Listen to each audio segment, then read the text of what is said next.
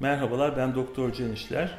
Meme küçültme ameliyatının meme dikleştirme ameliyatından aslında teknik olarak bir farkı yoktur. Biz hem çizimde hem ameliyat tekniğinde genellikle aynı yöntemi uygulamaktayız. Aralarındaki tek fark meme küçültme ameliyatında küçültmeyi sağlamak amacıyla meme dokusundan ve yağ dokusundan gerekli olan miktarı almaktır. Meme dikleştirme ameliyatında ise sadece memede sarkmaya neden olan deri fazlalığı alıp memeye şekil verilmektedir. Bunun dışında meme dokusundan bir e, fazlalık alınmaz.